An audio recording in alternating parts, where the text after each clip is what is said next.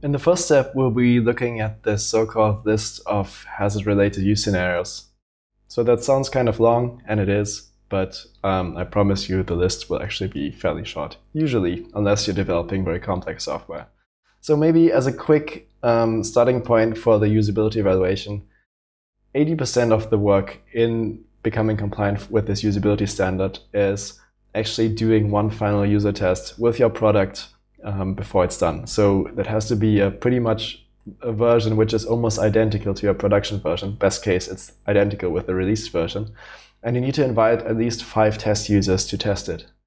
And I'm not going to talk too much about that here. I'm just mentioning it now so you have the right context and you know what the most time intensive activity will actually be in what we're doing for this usability standard. And you don't get lost in documentation along the way. Now, to basically lay the groundwork for doing this user test, um, the first thing you have to do is write down this list of hazard-related use scenarios, and that's what we're going to do right now. So if you head over to the website, um, then you see this template, uh, list of hazard-related use scenarios, and oh my god, it's been updated April 20th, so just very recently. And it's a very, very simple template. So it's essentially just a table, right? It's, it has one section and it has a table. And the table is also called hazard-related use scenarios. So what I did here is, as tables usually are better resembled in spreadsheets, I just copied the columns to a spreadsheet, to a Google Sheet, and that's all I did. So I think I would, I would recommend that you also do this because it makes sense. Now, um, what you need to document in this is your use scenarios, which, surprise, um, are hazard related. So what would that be? Um, you have to consider that your risk analysis needs to be mostly done for this first. So you need to have some usability risks um, written down in your risk table. And quick introduction to the Magic COVID application, which we're documenting, which we'll be talking about here, which we also were documenting in the risk table is we're just imagining we develop an app which um, can be used, um, which can be downloaded and then can be used to like take pictures of people's faces, and then it gives you an assessment whether that person has COVID or not. So it's like the magic COVID diagnosis um, photo app because it does it based on a photo of the person's face, and it gives like the super final diagnosis, basically saying, okay, a person is like COVID positive or negative. So so that's that's the imaginary app which we came up with to document. And we'll also be thinking about that here. And the um, maybe like we have one very obvious usability risk here is people not understanding the diagnosis output, right? So if it if it shows um, COVID positive and there's like a there's like a green symbol with a check mark, then that could be confusing because maybe a green symbol with a check mark would be like the person's fine and healthy, but COVID positive would actually mean um, that person is uh, sick, right? So we would enter this and say, okay, user group, who uses this app? Uh, probably physicians, so check your intended use. And description would be um, uh, diagnosis result is misunderstood.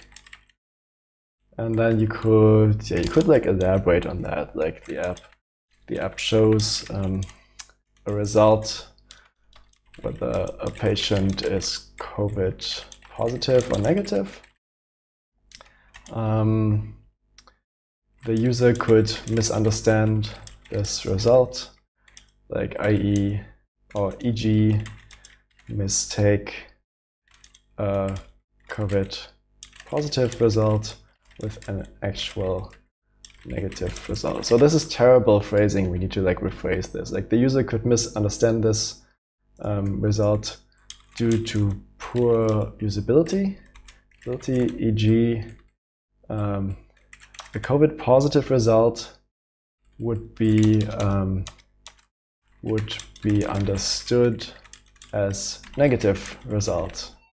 So again, this is about the actual usability risk, right? So this is not about your app showing wrong results, but about the user misunderstanding the result you showed them and subsequently um, initiating the wrong medical um, action due to that. So in this sense, um, you have uh, the COVID positive result, which is displayed like correctly in the sense of that it says COVID positive, but your user would be like, yeah, this is like the patient's fine and go home, okay?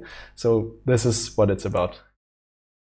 Moving forward in the table, you would describe what app state um, your application would be in, um, or what sort of environment would need to be um, required for this to happen. And this would be like pretty trivial. Like obviously the app would be need would need to be installed. Like app is installed, installed, and then like um, COVID test is done and result is displayed, right? So this is this is just like how would you what would you need to do to bring the app into this state, which um, which is described in the description um, column on the left side.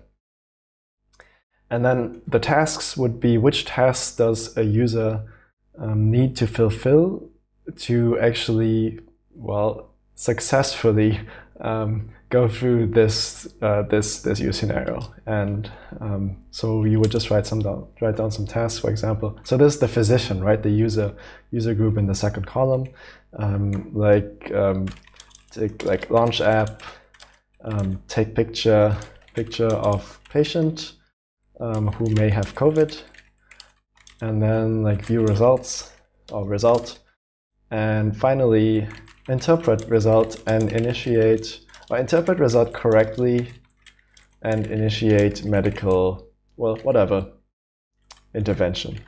Or or like at, and arrive at medical um, decision okay? Or conclusion or conclusion. Okay, and the acceptance criteria here is, um, that's probably like the most important, right? The acceptance criteria is the physician has, has actually understood what the app was showing them. So physician has understood, um, understood the COVID result. Yeah, that's, that's all there is, right? Has displayed, has understood the displayed, let's say this COVID result. Okay, so that's the acceptance criteria um, for this hazard related use scenario. So this should be like a good starting point for actually defining um, tests, which we'll be doing in one of the next few videos. But before we do that, we should maybe come up with a second hazard related use scenario. And um, maybe, so we obviously already got like the most impactful one in our first, um, in our first case. Maybe another one we could come up with is because this app is about taking pictures of people's faces. And maybe I'm like a clumsy um, physician and I always like take crappy pictures or like always like the autofocus. It's, it's kind of out of focus and the pictures are incredibly crappy. And that's why the whole app is kind of useless because the picture which enters the application or like the machine learning model um, is already crappy, right? So maybe this is a usability concern because handling phones and taking pictures is very difficult. So how we would how would we describe this? Like physicians, again, this user only has physicians as user, so there isn't like that much of a different user group. Description is like um, taking or like taking taking pictures or pictures pictures could have um, bad quality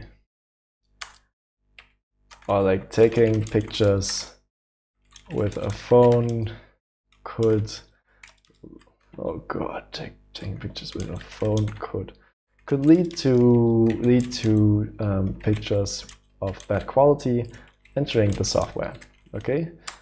I'm not going to add a description for that. So the app state in the environment would be and again because this is hazard related you will need to describe this associated hazard in your risk table. And an associated hazard would be, and I think we're actually describing it, is like, um, yeah, like crappy images enter the application and then that leads to a wrong COVID result. So uh, false positive or false negative. So someone who has COVID will maybe be identified as healthy, which is um, not good. So app state here is pretty much the same, right? App is installed, app is installed. Um, and maybe a bit earlier. So we're not doing a COVID test in this in this stage yet. So we're um, we're like launching the COVID photo feature, acquisition feature, whatever, right? So um, how about typing better today? Okay, launching. So the idea is you launch the app and then you hit like a big button which is like okay take a picture now and then it pops up this camera thing. So that's that's how you bring the app into the state. And the tasks are like really simple. It's like i mean um, launch like launch app. Two is like launch um, covid photo acquisition. Three like take photo of patient. Okay and acceptance criteria is like um, photo of good quality is taken of patient. Okay? So that's essentially what, um, what you're dealing with. And I confess the Magic COVID um, picture machine learning application is maybe not the best example here because it doesn't really have that many different hazard related use scenarios. Maybe one other example which I can give is from my past company, Vara, and this is public information, luckily, that's why I can give it, is it's in mammography screening, right? So screening for breast cancer, and the software gives the radiologist an indication whether a breast cancer could be present on the current image the radiologist is looking at. And there you, you well, you essentially have two different hazard-related use scenarios, right? Because um, you have the app doing a false positive and a false negative assessment. So there's something in the image which is probably cancer, but the application maybe says like, hey, this is totally fine.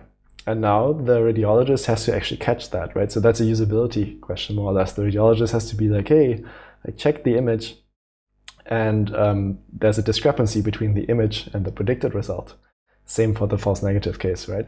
So this is like a this is like a usability thing, and this would map much better to this table. So you would have you would have a column um, AppState environment would be like, okay, you have a false negative diagnosis in the system and the radiologist sees this output from the system, but sees this picture, which and there's a discrepancy, right? So that's the app state. And the task would be like, yeah, blah, blah, blah, do your radiology report. And the acceptance criteria is very important here. That would be like, okay, you've you've noticed that there was a discrepancy and actually identified um, the output of the software as wrong. So I think that's a really, really good example. Um, again, not uh, not as good uh, or better than our Magic COVID application, but that's essentially all there is. Moving forward, I think um, one thing you should maybe keep in mind is you shouldn't just only focus on the list of hazard-related use scenarios. So this is just enough to fulfill the 62366, but um, the 13485, so the quality management standard, it actually is a bit broader and it says you should validate all of your software. And validation is doing like a user test.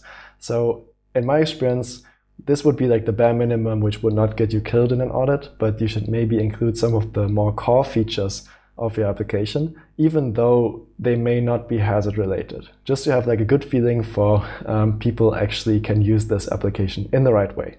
Because again, this will be the like the groundwork for actually doing a user test later on. All right, so talking about a user test, we'll be uh, talking about that pretty soon. But before we get there, we'll be talking about like formative evaluation. Um, so let's see what that is next.